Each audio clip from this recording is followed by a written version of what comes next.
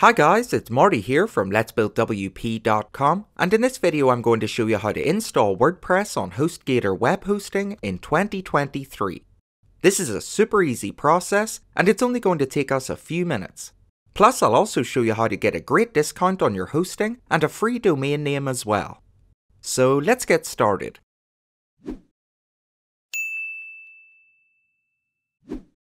Okay, so before we can install WordPress on HostGator, we first need to set up a HostGator account and register our domain name and hosting.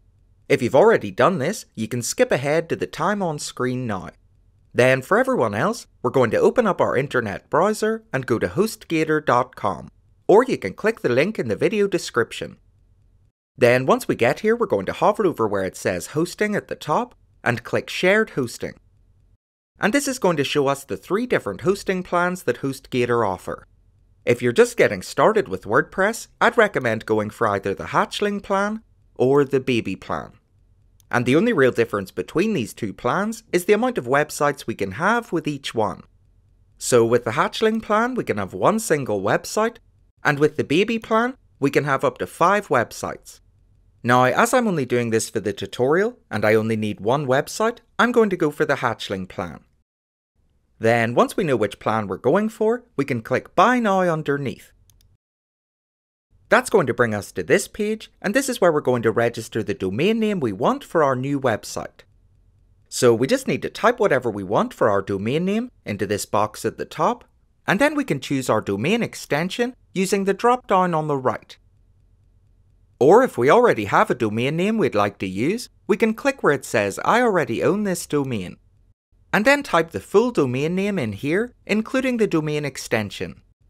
But I'm going to go back and register a new one for this example. So I'm going to type website about coffee in here. And then for my domain extension, I'm going to choose .com. So the domain name I'm registering here is websiteaboutcoffee.com. Then, as long as it's available, it's going to say primary domain here, but if it comes up and says the domain is not available, unfortunately we'll need to choose something else. Then, once we're happy with our domain name, we can scroll down to where it says Domain Privacy Protection. Here we can see it says, Let HostGator.com help protect your identity online. Privacy protection hides your personal contact information from public view. So basically, there's this website called whois.com, which is a public site that anyone can look at. And when we register a domain name, our name and email address are added to this site. Now, this isn't going to cause any issues, other than the odd spam email, but if we purchase the domain privacy protection, instead of our own details, it'll be HostGator's that show up. Now, this is totally optional, and I normally just uncheck this box myself and haven't had any problems to date. But if you want to keep your site totally anonymous, you might want to check this box and add it to your bill. Then under this on the right, we're going to choose how often we'd like to pay for our hosting. Now, I know this is really going to depend on your budget, but I would definitely recommend setting this to 12 months or higher if you can. And not only will this get us a much higher discount, which it does, but we'll also get our domain name for free if we go for 12 months or more up front. Then under this we just need to enter the details we want to use for our HostGator account, so our email address and password, and then underneath we can enter our personal billing information. And if we look on the right, we can use either credit or debit card or PayPal. Then once we're done here we can scroll down and we'll see it says add additional services. Now these are all optional add-ons and I normally just uncheck them all myself. But you can have a read through them and see if there's any you want. Just check the box beside them and they'll be added to your bill.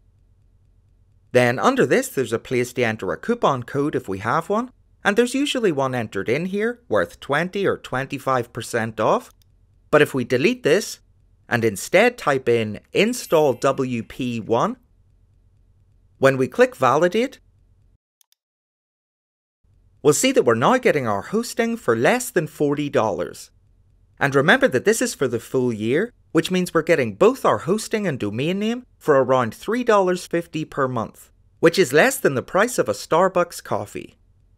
Now, as well as you getting an amazing discount, I'll also be paid a small commission from HostGator if you use my coupon or click through my affiliate link to make a purchase. This won't cost you anything extra, and any money made by me goes back into making more tutorials like this one. So thank you if you use the coupon, I really do appreciate the support. But anyway, let's get back to this. So once we're done here, we just want to review our order and make sure everything's correct. And if we look over here on the left, we can see they offer 24 7 live chat and email support, and they also have a 30 day money back guarantee, so there's really no risk at all. Then, once we've reviewed our order, we just need to check this box to agree to their terms, and then click Checkout Now. And at this point, you'll be brought to a payment screen to pay for your order. Then, once you've paid for your order, we can start installing WordPress.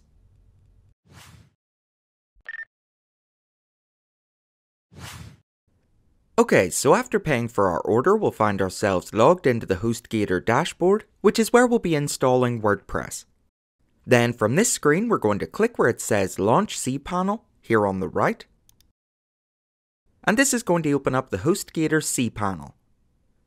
Now we're going to type WordPress into the search bar at the top. And then click on WordPress Manager by Softaculous. Now we need to click where it says install. And this is going to open up the WordPress installer. Then on this screen we need to make sure the domain name that we just registered is selected in this box. And I should point out here that if you registered your domain name from somewhere else or using a different HostGator account, you will need to link them together before it shows up in this list. I'll add a link to a tutorial for this in the video description, and once you get your domain name linked, you can come back here and refresh the page and it should appear in this list. Then once we've selected our domain, we can scroll down and this is where we can enter our site name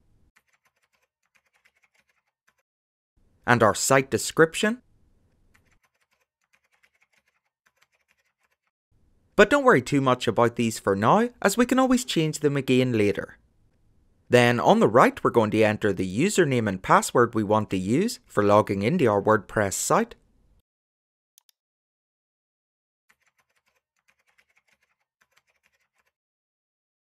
And under this, we can update our email address.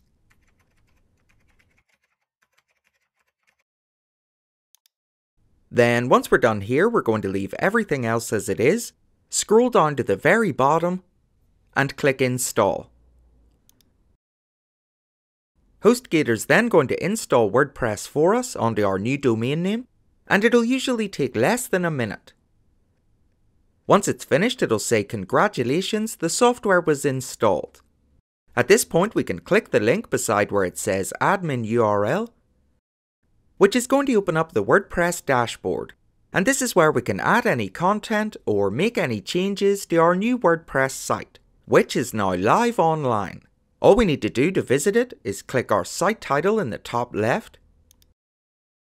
And this is going to show us what WordPress looks like when we first install it. And don't worry if yours looks a little different than mine, as sometimes they change up the default theme. But either way, it's just going to have some demo content on it for now, and it's ready for us to start customizing and adding content to.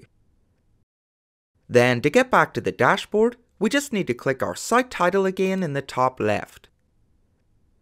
So that's us now at the end, and that was how to install WordPress on HostGator in 2023. If you found this video helpful, please give it a like to show your support, and consider subscribing to the channel for more WordPress tutorials in future.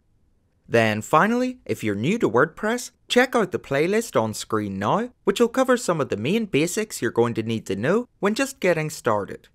Once again, my name's Marty from letsbuildwp.com, and thank you very much for watching my video.